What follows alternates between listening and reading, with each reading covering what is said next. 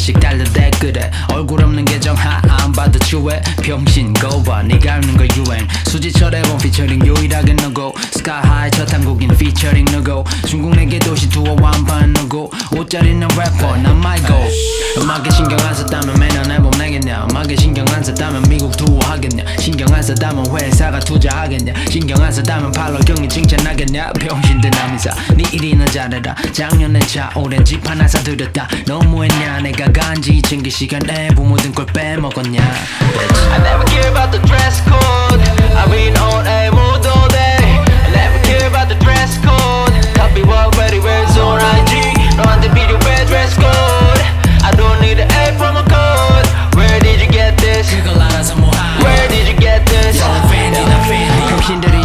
병신이다 인정하네. 병신 아닌 새끼들은 팬 아니어도 인정하네. 할 줄 아는 건 빈정. 똑같은 말 지켜 취했냐? 다른 걸로 깜빡놓은 신설. 래퍼가 어쩌고 옷이 저쩌고. 하는 래퍼들 보면 음 으기 별로고.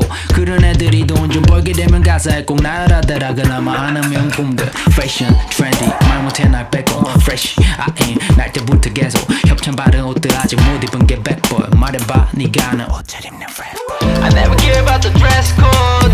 I read on a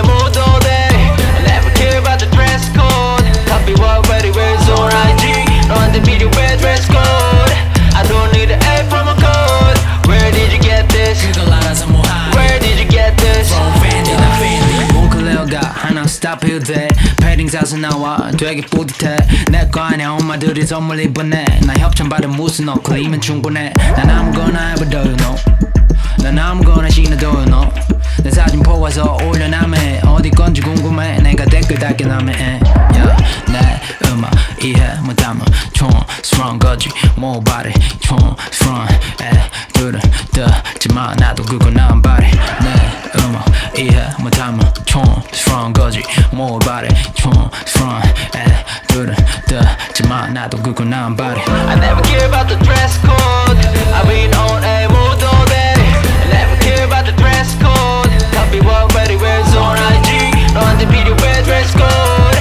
I don't need an A from a code. Where did you get this? 그걸 알아서 뭐하 Where did you get this? 팬이나 드레스 코드라는